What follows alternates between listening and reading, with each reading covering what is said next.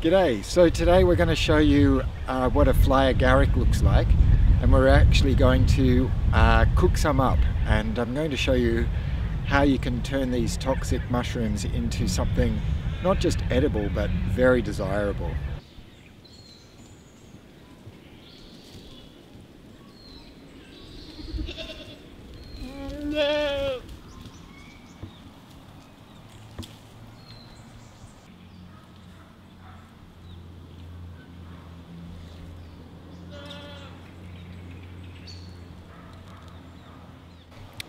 So here's a young one and here's an aging one. And they're probably only two or three days uh, apart in age. But they're very different. So familiarizing yourself with your mushrooms and the different stages uh, they are in life will help you uh, as a forager. That's what a good mushroom looks like. Um, just before I start, I want you all to guarantee uh, us, me, right now, that you're not going to share this information lightly and that you're going to, if you share this post on social media, um, to not just say, hey, fly agarics are edible, because people may not go through this recipe and they might just see that in a post feed and go, oh, wow, those mushrooms are edible. And then you could get your friends and people in your network quite sick. So there's all the variations of the, of the cap. This is the same mushroom.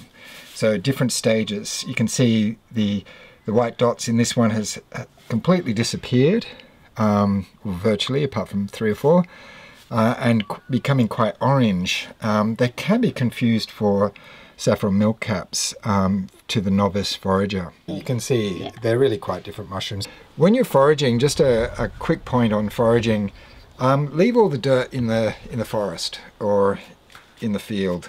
Um, and the best way to do that is to have a mushroom brushroom like this. Um, there's many different types and always cut the stipe off nice and cleanly rather than tear the mushroom out which will destroy uh, or damage the mycelium. So I'm just going to uh, basically get these ready to start preparing for food. Once again, I stress, these are poisonous mushrooms if you don't follow this recipe. I usually take most of the stipe off, just clean the stipes off. So you can see the great diversity of caps. These, the hoods here are, are called the caps. These are the gills, the stipe, and the cap. Okay, you can see under here the veil is still left on this one. So I'm just going to remove that. Um, the very first, the very first thing you do, apart from clean off any excess dirt that may have come home in your basket, and of course you, you never use water to clean mushrooms; it will just turn them really mushy. So, really just cut them into finger thin slices. Okay. We're going to go inside now and uh, cook them up. I'll show you the cooking process, which is very specific, and you need to agree that you're going to do this if you eat these mushrooms. So let's go. So as you can see here, I've got three pots uh, that I boiled earlier, got on the stove earlier. I started with the big pot first because these mushrooms will reduce down quite a lot. And then I've got two uh, smaller pots.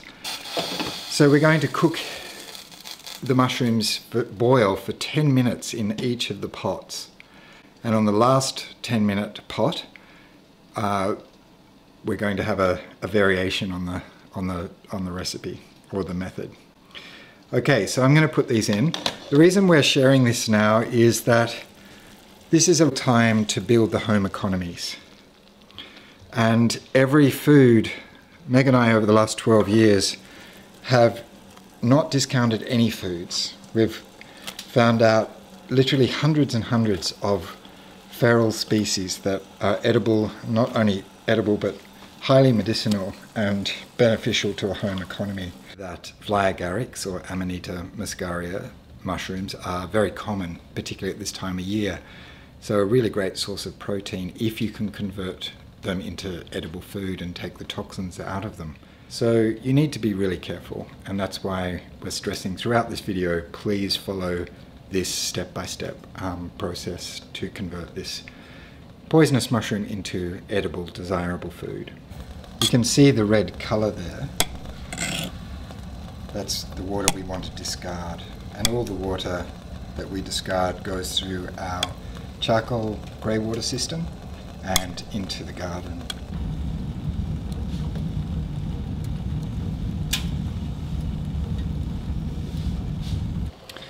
Okay, so that's 10 minutes uh, of the first boil. You can see how pale the mushrooms are. It's leached out a lot of the red. Okay. So I'm just going to go and feed that to the reindeers.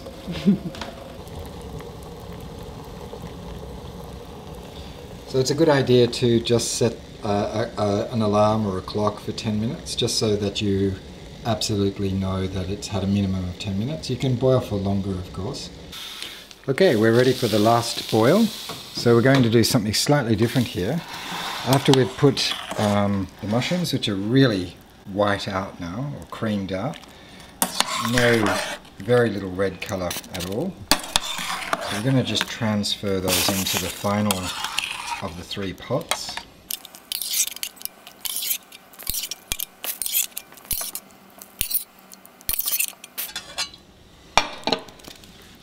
So the only variation in the three boiling stages is I'm going to add some of Meg's stinging nettle vinegar.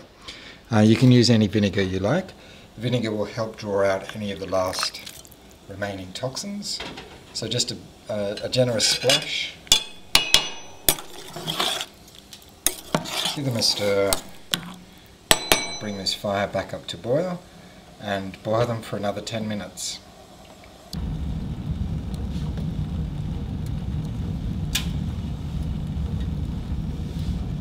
Okay, so the fly agarics have had three steeps, 10 minutes each in fresh water, and with the last pot we've put the uh, vinegar, um, splash of vinegar in just to draw out any last uh, toxins. I'm just going to strain this last one into the sink. So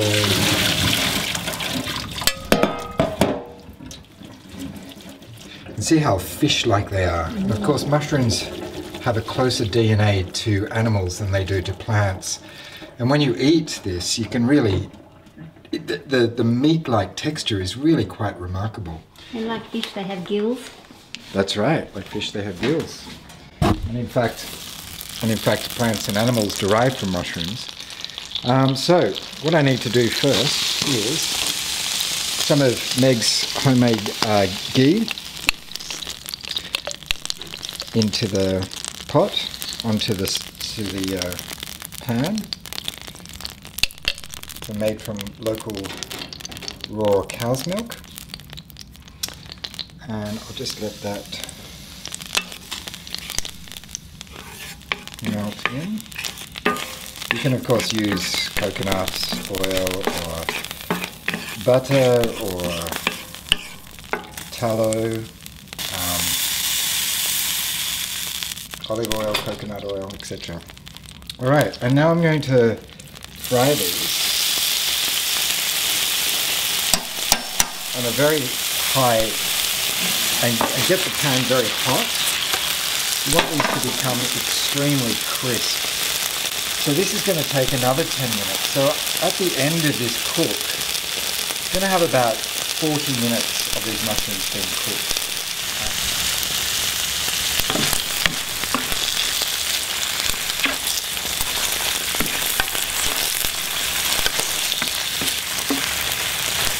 So here is the uh, finished plate. So this is going to accompany our Artist as Family rice bowl tonight. What I normally do uh, when I've finished is just drizzle some lemon juice um, and a pinch of salt and they're ready to go. Bon appetit. Mmm. So good.